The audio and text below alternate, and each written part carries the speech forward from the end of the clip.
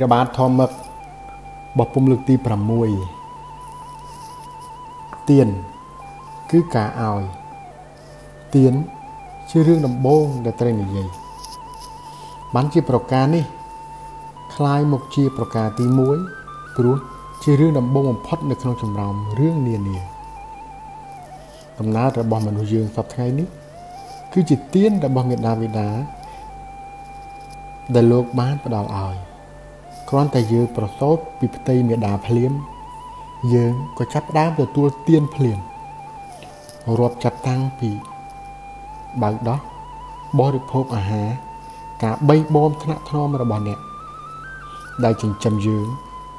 អ្នកពោយើងងូតទឹកឲ្យយើង រហូតដល់រៀនសូត្រចេះដឹងដូច្នេះយើងត្រូវដឹងគុណរបស់ទៀនថា ព្រោះទៀននេះឯងដែលយើងមានជីវិតរស់នៅរហូតមកដល់សពថ្ងៃយើងទទួលទានពីគេគេទទួលទានពីយើងប្រការនេះឯងដែលយើងធ្វើឲ្យជីវិតនេះ សង្គមនេះ និងពិភពលោកនេះ មានមនុស្សរស់នៅដោយការស្រឡាញ់នៅជាមួយគ្នាបានអាស្រ័យដូចនេះ បានជាខ្មែរយើងប្រើពាក្យទទួលទានជំនួសការស៊ីការផឹកដែលជាការប្រើដោយបង្កប់ន័យសម្រាប់ជាកតិឲ្យអ្នកដែលចង់រស់មានជីវិតទាំងឡាយដឹងថា ជីវិតអ្នករស់បានដោយសារការទទួលទានឬការទទួលអំណោយពីអ្នកដទៃនិងជាការបង្ហាត់ឲ្យអ្នកនោះដឹងគុណគេ ហើយព្យាយាម នឹងតបស្នងសងគុណគេវិញដោយការឲ្យទានទៅអ្នកដទៃទៀតផងពាក្យថាទានប្រើចំពោះបរិបរិបទពីរយ៉ាងគឺកទាន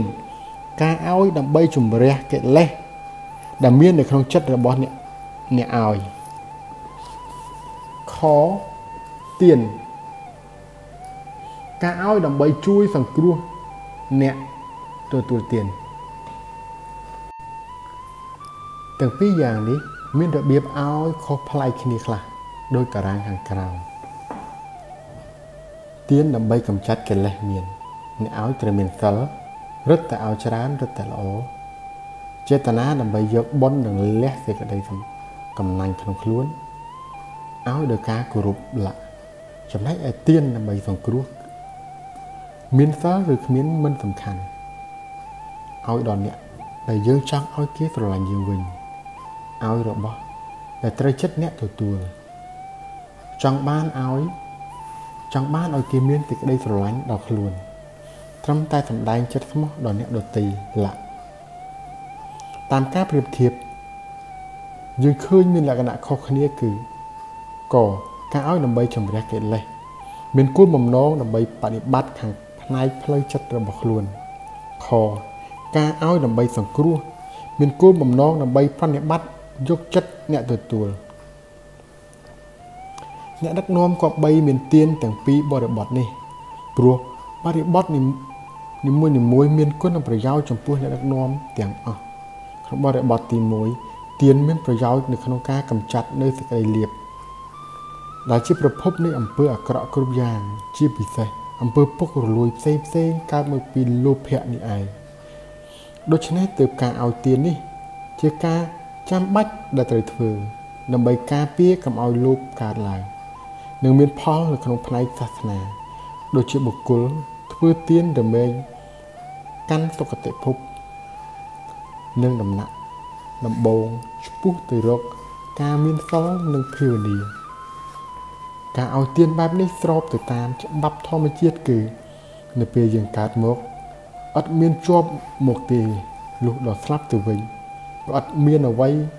យកទៅជាមួយដែរអ្វីដែលយើងបានពេលដែលយើងមានជីវិតរស់នៅសុទ្ធតែជារបស់ធម្មជាតិទាំងអស់ដូច្នេះដល់ពេលស្លាប់ធម្មជាតិក៏ទារបស់នោះវិញតែបើយើងបានឲ្យទៀនចិត្តយើងគ្មានសេចក្តីលោភបុណ្យកើតដល់យើងអាចទៅជាមួយយើងបានពេលដែលយើងស្លាប់ទៅ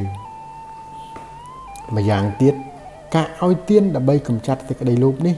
ចំពោះអ្នកដឹកនាំ គឺជាការ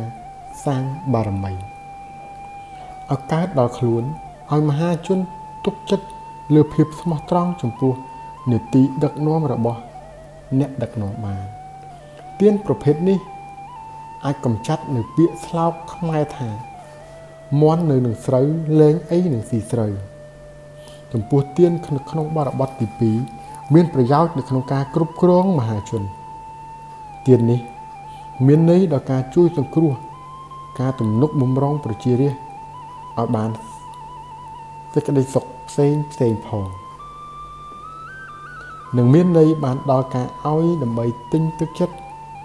ចងទឹកចិត្តឲ្យគេនឹកឲ្យគេស្រឡាញ់ខ្លួន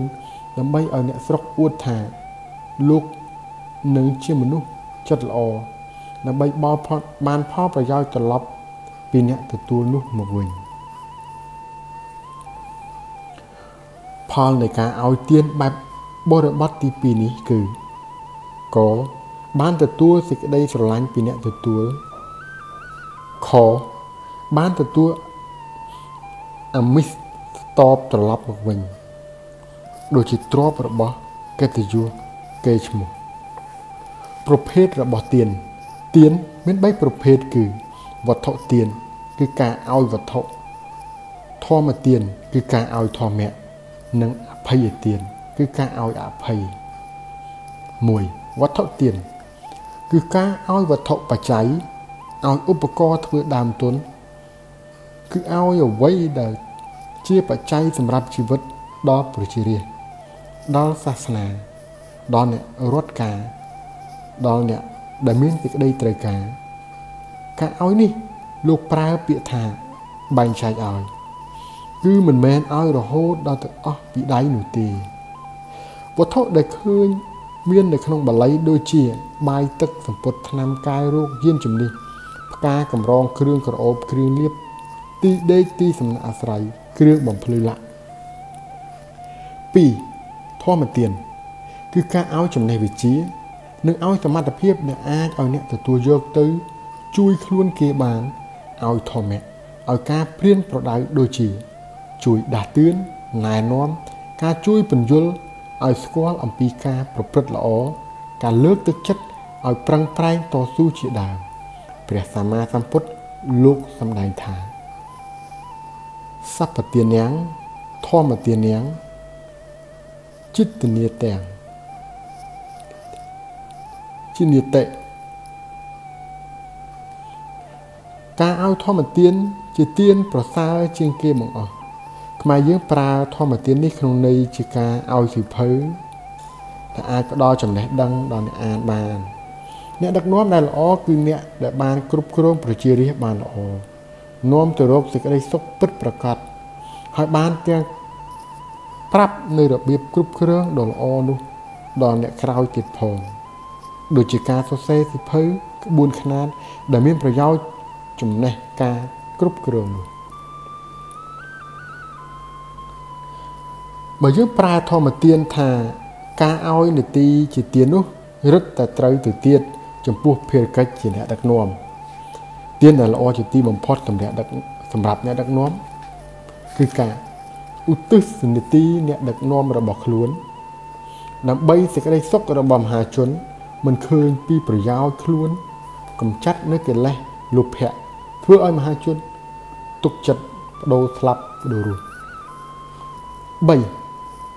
អភ័យទានគឺការឲ្យអភ័យទោសចំពោះមហាជន មានមេត្តាករុណាមិនមែនជាមនុស្សចងពៀ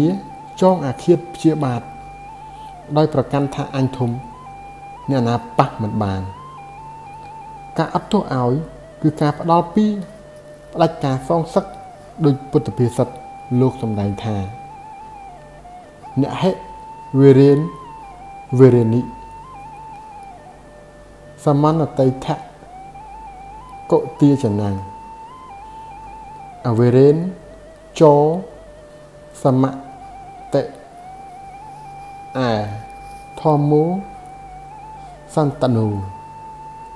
តាំងតាពីដើមមកនៅក្នុងលោកនេះពៀមិនដែលរងាប់ដោយការចងពៀទេ មានតែរងាប់ដោយការមិនចងពៀឲ្យភ័យឲ្យអភ័យនេះគឺជាច្បាប់អមតៈ ធម្មរាជាធម្មឹកអ្នកដឹកនាំល្អដែលមហាជនស្រឡាញ់គឺអ្នកដឹកនាំដែលចេះឲ្យចេះបែងចែកអ្នកដឹកនាំក៏បីជាអ្នកឲ្យអ្នកបែងចែកអ្នកធ្វើទៀនឲ្យដល់មហាជនខ្លួនទាំងវត្ថុទៀនធម្មទៀននិងអភ័យទៀនព្រោះថា